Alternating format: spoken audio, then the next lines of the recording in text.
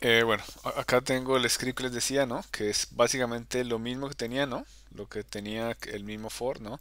De 0 a 100, de 5 en 5, donde yo estaba cambiando la locación, ¿no?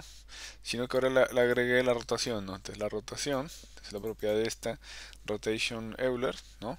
Que eso rote en el eje Z, ¿no? Y por 4 para que sea más, un poco más, más rápido, ¿no? Y se le inserta el el keyframe se lo inserta en, en rotation Euler, ¿no?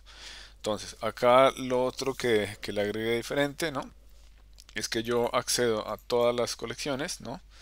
Eh, y cuando encuentro una colección con el nombre de cubos, que en este caso es este de acá, que solo tienen un único cubo que es este de acá, a este le vamos a borrar los keyframes que tiene.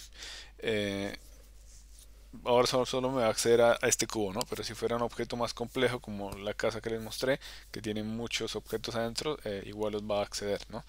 Lo otro que importa acá fue eh, Radiance de la librería de Maths, ¿no? Y bueno, e- eso es todo, ¿no? No tiene, digamos, mayor ciencia este script, e- es muy sencillo, ¿no? Entonces acá si yo lo ejecuto mm, eh, y me voy acá al cubo, ¿no? Y le doy play, ustedes van a ver que subo en el eje Z al tiempo que está eh, rotando, ¿no? Entonces, ya con, con eso, lo que vamos a hacer ahora es que eh, cada, cada objeto de la colección, ¿no? O sea, partiendo del centro, se aleje del centro, ¿no? Hacia una dirección diferente y va a ir rotando, pero ya no solamente en, en una, en una, en un eje, sino en varios, ¿no? Para dar ese, como ese efecto de, de, de una explosión o algo así, ¿no?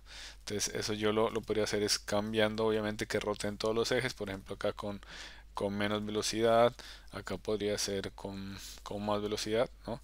Y le va a dar e- esa impresión de que, de que está este, alejándose rotando, ¿no? Por ejemplo acá yo lo hago en, en dos ejes en vez de, de uno solo, ¿no?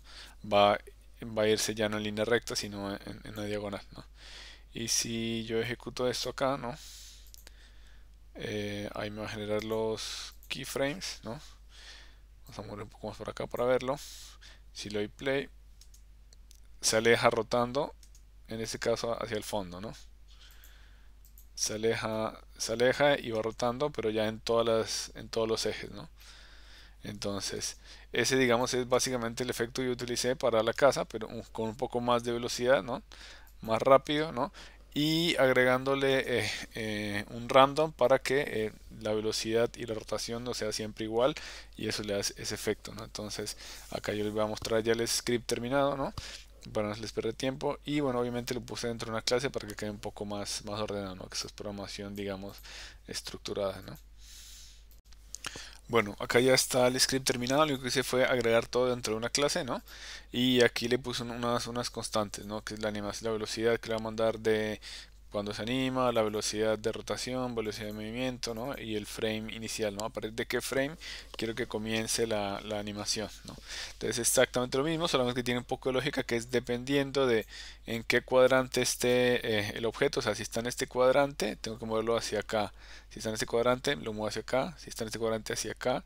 En este cuadrante, hacia acá. Y obviamente lo mismo, pero en tres dimensiones. Esa es la lógica para que cada parte dé la impresión de que se está alejando del centro. ¿no? Y lo que, lo que le puse, eh, obviamente, es la parte de, de, de random, ¿no? Para que la, la velocidad en que se aleja cada objeto y la velocidad de rotación no sea siempre la misma, ¿no? Entonces eso le da como ese efecto que vimos nosotros acá al inicio, donde cada este cada, cada parte de la casa se alejaba un poco más rápido, ¿no? Y el resto es básicamente lo mismo, ¿no? Eh, la animación que teníamos, pero, pero con eso, ¿no? Y acá pongo yo eh, eh, la explosión, la, la, inicio, ¿no? Y le digo sobre qué colección se va a ejecutar, que en este caso sobre cubos, ¿no? Lo que hice fue duplicar los cubos, agregarle más de los mismos. Y si ahora, por ejemplo, yo le doy aquí play, ¿no? Esto me va a generar todos los, todos los frames de todos los, objetos, ¿no? Si esto lo, lo vemos acá, eh, vemos que ya los objetos se alejan y se alejan rotando, ¿no? Que es lo que tenía la, la casa que vimos al inicio, ¿no? Entonces ahí vemos que todos se alejan rotando, que es el mismo efecto que habíamos visto en, en la casa. Es esto mismo de acá, ¿no? Solamente que le agregué, agregué un poco de, eh, movimiento de cámara y nada más, ¿no? Si miran, se alejan rotando y se acercan rotando.